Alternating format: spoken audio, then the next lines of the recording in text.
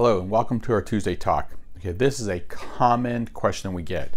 How do you determine who needs a breast lift or who needs an augmentation? A lot of times when I see my scheduled patients coming in for an augmentation and they think that's what they need. And sometimes the misconception is, I know I have some sagging, I've had some children, and if, if the implant is big enough, I just need an implant. Well, that's not always true, okay?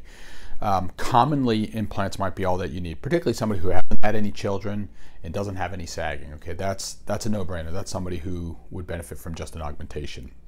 Now, if you've had children, depends on how much sagging you've developed. Okay, a little bit of hollowness up top, you know, loss of upper pole, what we call loss of upper pole fullness, that may benefit from just having an augmentation.